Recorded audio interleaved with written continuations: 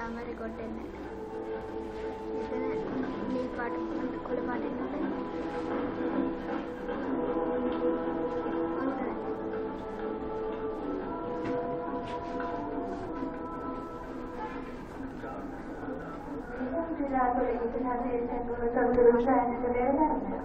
පාටින් Lastly, ඉතිහාසයේ හිරස්පරවන්න දෙන්නේ විද්‍යාලය සංහස් මාධ්‍යයේ අදත් සූදානම් ඓතිහාසික පුරාවෝගේ සාමක්‍රියක් කෙරවන්නද ඉතින් සම්ප්‍රදායාත්මක වැඩසටහන වෙනුවෙන් අද දිනේ අපේ සංහස් මාධ්‍යයේ සිට වැඩම වදාළ අපේ මාධ්‍ය ඒකකයේ බාර විද්‍යාලීය ආචාර්ය පූජ්‍ය අගරගඩ පුණ්‍යරතන ස්වාමීන් වහන්සේව තෙරුවන් සරණයි කියා පාද නමස්කාරයෙන් යුතුව පිළිගනු ලබනවා.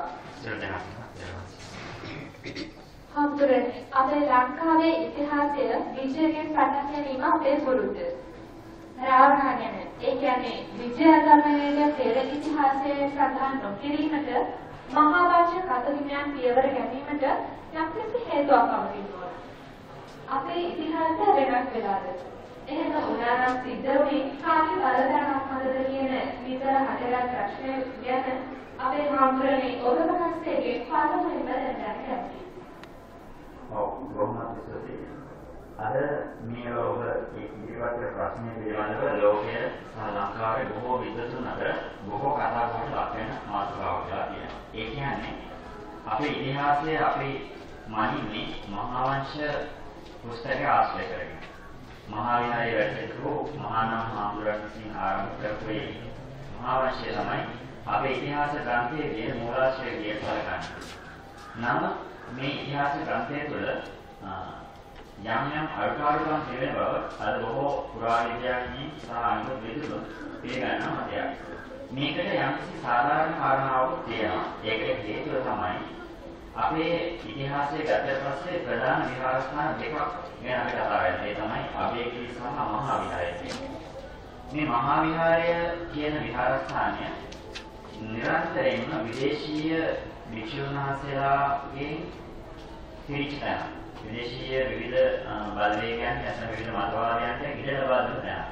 ඉතින් මහා වංශය ආරම්භ වෙන්නේ මෙන්න මේ මහා විහාර වංශයෙන් වීමේදී විදේශීය මතවාද වලට මුලතැනක් දීම නැත්නම් ඉරහස ලබා දීම මහා වංශයේ මහාමුරණ වහන්සේලාගේ බලාපොරොත්තුවක් වුණා. ඊළඟ කාරණාව තමයි මහා වංශය කියන එක අතර රචනාවල ග්‍රන්ථයක්. ඒතකොට මේ මහා වංශය රචනා වෙන්නේ ඒ පවතින කාලවකවානුවේ තියෙන රජයන්ට පක්ෂපාතී විදිහට. අපි උදාහරණයක් විදිහට ගත්තොත් පහුගිය රජයේ වකවානුව ගත්තොත් පහුගිය රජයේ වකවානුව තුළ මහා වංශය රචනා වෙන්නේ ඒ රජයට පක්ෂපාතී විදිහට. ඉතින් ඒ වගේ ග්‍රන්ථයක් තුළින් අපි ඉතිහාසයක් නිවැරදිව නිශ්චය කරන්නේ යන්නේ පොඩි ගැටලු සහගත බවක් තියෙන එක තමයි බොහෝ දෙනාගේ විශ්වාසය වෙන්නේ. එතකොට හම්තුරනේ එතෙන් සඳහන් වෙන කුම්භකර්ණ කියන්නේ කවුද? ඔහුගේ හැසිරීම සහ ක්‍රියාකාරීත්වය පිළිබඳව ඔබ වහන්සේගේ විස්තර ටිකක් දැනගන්න කැමතියි. ඔව් අපි අහලා තියෙනවා ලංකා ඉතිහාසය ගැන කතා කරද්දී මේ කාලවකවානුවල බොහෝ ආందోලනයක ලක් වෙන රජ කෙනෙක් තමයි මේ රාවණ රජතුමා පිළිබඳව. රාවණ රජතුමාට හිටපු දක්ෂ සොහොයුරෙක් තමයි කුම්භකර්ණ කියලා කියන්නේ. ඉතින් මේ කුම්භකර්ණ කියලා කියන සොහොයුරා ඍෂිවරයෙක් විදිහට තමයි බොහෝ දෙනා ඉතිහාසය තුළ හඳුන්වන්නේ. ඔහු කුණ්ඩලිනී ශක්තිය අපේ ආදී යෝග යෝගීන් වහන්සේලා විසින් මානසික වශයෙන් දියුණු කර ගන්නා ශක්තිය තමයි කුණ්ඩලිනී යෝග සහ යාම අවස්ථාවන්. ඉතින් මේ කුම්භකරණ කියන ඍෂිවරයා නැත්නම් රාවණතුමාගේ සහෝදරයා ඊටමත් යුද ශක්තියෙන් ඒ වගේ යුද ශිල්පී ඥානෙන් ඊටමත් පිළිතර නැත්නම් ප්‍රඥාවන්ත කෙනෙක් වෙච්ච ඔහු ඍෂිවරයෙක් නැත්නම් කුණ්ඩලිනී යාම අවස්ථාව අවදි කරගත්තව කුජලයේ. අපේ හාමුදුරනේ තවත් ප්‍රශ්නයක් මතුවෙනවා.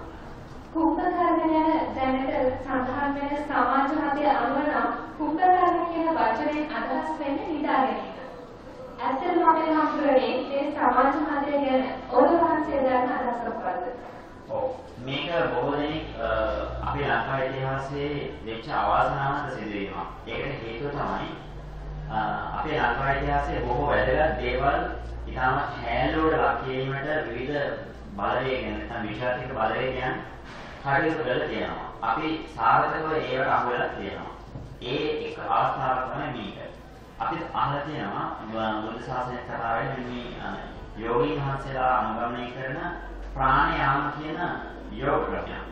මේ ප්‍රාණයාම යෝග ක්‍රමේ අප්‍රාණික සමාධියේ සමවැදීමේ දක්ෂ හැකියාවක් මේ කුම්භකරණ කියන මේ ඍෂිවරයෙක් තිබුණා.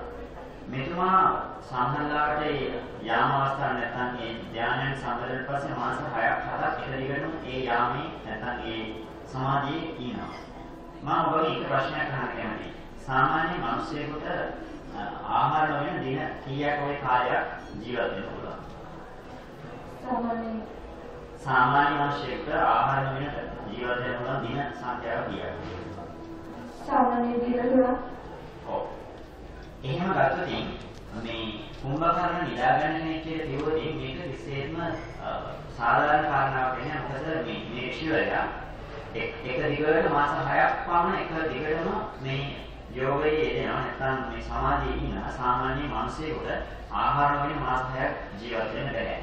ඉතින් විශේෂම කාරණාව තමයි රාවණ ප්‍රතිතුමා ලංකාව ආක්‍රමණය කරන්න හැදපු හැම අවස්ථාවකදීම රාවණ ප්‍රතිතුමා දැනගෙන හිටියා මේ රාවණාරයතුමා සතුව ඉන්න මේ සහෝදරයා යුද ශක්තියෙන් අති ප්‍රබලයි ඒ නිසා ඔහුව ඉන්න අවස්ථාවකදී මේ රාජ්‍ය ආක්‍රමණය කරොත් ඔහුට පණිවිඩ යන්න බැරි වෙනවා කියලා. ඒ නිසා රාවණාරයතුමා නිරන්තරයෙන් උත්සාහවත් වුණා මේ මේ කුම්භකරණ අප්‍රාණික සමාධියේ සමවදින කාලයක් බලලා මේ ආක්‍රමණය කරන්න. ඉතින් රාවණාරයතුමා ලංකාව ආක්‍රමණය කරන්නේ කුම්භකරණ නැත්නම් තමයි සෝවිරා නැත්නම් මේ ලංකාවේ හිටපු දක්ෂතම යුද ශිල්පියා සමාධිය සම්බන්ධිත අවස්ථාවේ. ඒ වෙලාවේදී ඔහු ඒ සමාධියේ ඉන්න වෙලාවේදී ඔහුට කිසිම කරදරයක් කරන්න බෑ.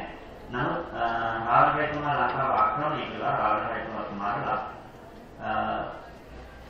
කුම්භකර්ණට අනුතරක් කරන්නේ කුම්භකර්ණ සමාධියෙන් උත්හාන වෙන අවස්ථාවේ ඒ කියන්නේ සමාධියෙන් මිදෙන අවස්ථාවේදී තමයි ඔහු මරා දමන්නේ. ඒකට හේතුව තමයි කුම්භකරණ සමාධියෙන් උත්හාන වෙන අවස්ථාවේදී විවිධ මානසිකත්වයකින් සමාධියෙන් උත්හාන වෙන්නේ නැහැ. ඒ මොහොතේදී කුම්භකරණ මරා දමලා තමයි මේ යුද්ධය ජයග්‍රහණය කරන්නේ. කියන එක තමයි දෙන්නේ අපි දැනගන්න යුත්තේ විශේෂයෙන් කියනවා මේ කුම්භකරණ කියන්නේ නිගන්නා පුච්චලෙක් නෙමෙයි.